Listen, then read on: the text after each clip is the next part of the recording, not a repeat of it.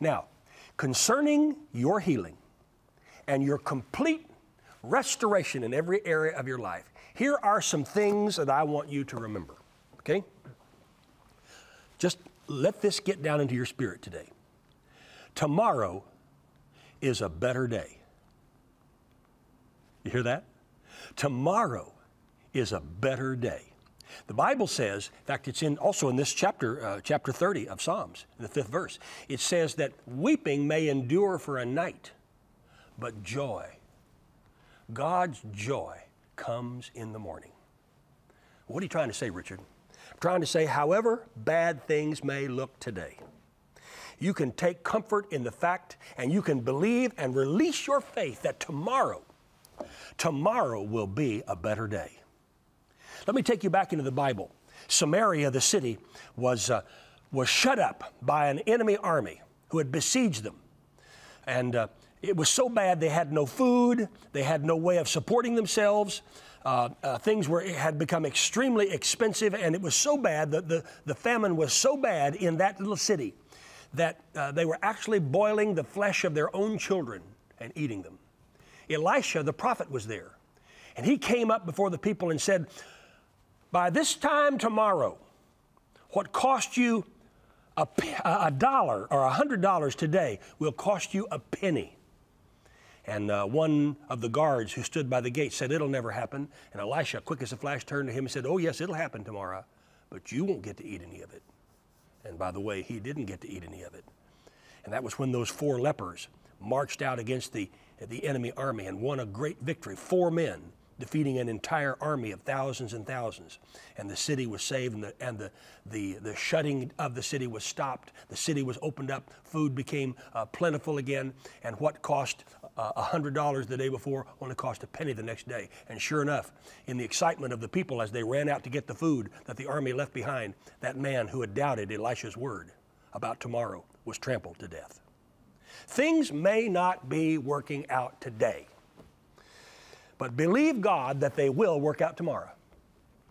What did that little girl, uh, Annie, uh, sing in that Broadway musical? You remember that? The sun will come out tomorrow. Bet your bottom dollar that tomorrow there'll be sun. Remember that? Just trust in the Lord with all your heart and lean not, do not lean unto your own understanding. And before you know it, things are going to begin to shift in your favor. Tomorrow will be a better day. Now, the second thing is hope.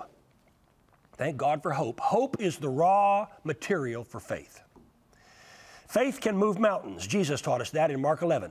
He said, Whoever shall say unto this mountain, this need, this problem, be thou removed and be thou cast into the sea, and shall not doubt in his heart, but shall believe that those things which he saith shall come to pass, he shall have what things soever he desires. And when you pray, believe that you receive, and you shall receive. That's the word of Jesus. Hope is the raw material of faith. That's why the devil will do anything he can, everything he possibly can in his power to make you feel hopeless. Because he understands full well that hope deferred will make the heart sick. That's what Proverbs 13, verse 12 says. Hope deferred makes the heart sick. So, what do I do, you say? Don't allow the devil to kill your hope as long as you're alive, as long as you're breathing, as long as you have breath in your body, you can hold on to hope. But you say, Well, I'm holding on. I'm holding on to that hope. I'm holding on to my rope as, as tight as I can, and I'm about, about to fall off the, the line. Well, no, no, no, no, no, no, don't do that. Tie a, tie a knot in the end of that rope and don't let go. Hold on to your faith no matter what and know that this kind of hope I'm talking about, the kind that Romans 4 talks about, this is the kind of hope that never disappoints. It's hope in God. Now, number three. Now, this may sound a little unusual to you. No friction, no movement. Now, listen to that. No friction, no movement. Engineers understand that. Engineers understand just how much friction causes strain and struggle and, and leads to the wearing out of parts. You know, it's because of friction that car engines work. And that's why we put oil in. That's why we put oil to, to smooth it out. And, and a lot of us need an oil change in our own believing, our own thinking. We need, a, we need the fresh oil of the Holy Spirit. Well, just like your car needs it, we need it as well. Well, the engineers also understand that without friction, there is no movement. There has to be friction or there's no movement. And the definition of friction, I looked it up last night. It's the action of one surface or object rubbing against another. Well, that's what happens in our car engines, and that's why we use oil. I, have faced many frictions in my life. Uh, my dad told me, Richard, if you're serving God, especially if you're in the healing ministry, there are going to be things that come against you. Uh, you know, friction happens. That's why it's a lot easier to walk on gravel than it is in mud. and when there's an attack against your body, that's friction.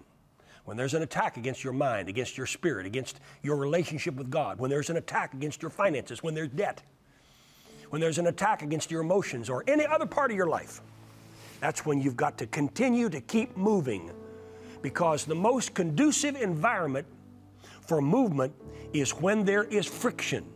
Don't be discouraged that there's friction. You know, if you're walking side by side with the devil, you'll never meet him head on. There's friction when you're coming like this and you say, No, devil, you can't have me, can't have my family, can't have my business, can't have my, my health, can't have my money. No. David said, though I, Yea, though I walk through the valley of the shadow of death, I will fear no evil, for you are with me. Let me tell you this again. If you're serving the Lord, you're going to have friction, but you can allow that friction to help you move forward in God. Now, number four, let me quickly get to this. He'll never leave you, and He'll never, ever forsake you. What makes storms easier to overcome is not how sturdy the boat is, it's the fact that Jesus is in the boat with you. You see, what the disciples didn't understand that night was although Jesus was asleep in the boat, he was in the boat. And there was no way that storm could kill them because Jesus was with them. Remember, Jesus had said to them, Let us go over to the other side of the lake. And when he said, Let us go over, it meant they could not go under. Now, Peter misunderstood it. Said, Master, don't you care we're about to drown? Oh, no. Jesus got up and calmed the sea to sleep with his word. So the next time you feel like the storms of life are just too much, remember that Jesus Christ, the hope of glory, is in your boat. He's in you. According to Colossians 1:27, the hope of glory, and he has promised never ever to leave you nor forsake you. Praise God. Now, the fifth and final thing I want to share with you is prayer. Prayer changes things. Just picture Elijah up on Mount Carmel. Remember, he had said it's not going to rain until I say so, three years of drought.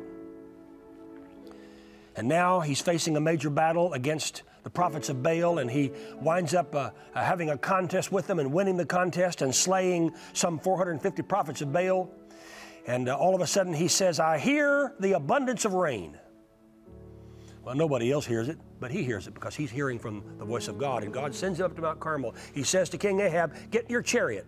Get your chariot, get ready, get ready to ride because there's a rain coming. He goes up on top of Mount Carmel. And the Bible says he puts his head between his knees. Now, when you put your head between your knees, all you can do is look down. And when you put your head between your knees, your ears are covered. That means you're not seeing or hearing what the world says and he began to pray.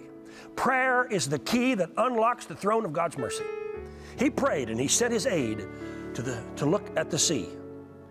And he said, I, I, see nothing. A second time, I see nothing. A third time, I see nothing. A fourth time, I see nothing. Five times, I see nothing. A fifth, sixth time. And on the seventh time, he came back to Elijah and said, As you're praying, Master, I see a cloud rising up out of the sea. It's like the shape of a man's hand and I'm going to paraphrase here. Elijah said, Hot dog, Jesus. and he, he said, You better get in your chariot, King Ahab, and head back to Jezreel because there's a rain coming. You don't want to you don't want to be stuck in the flood. And the Bible says that the Spirit of God came upon Elijah and he outran the chariot of Ahab back to town. Prayer. That's the missing part in so many people's lives. Prayer is the missing part. You see, God is a healer. And He's the same yesterday, He's the same today, He is the same forever. God is a healer. He's the same yesterday, today, and forever in every area of your life. And I'm setting my faith with you right now for healing. in every area of your life.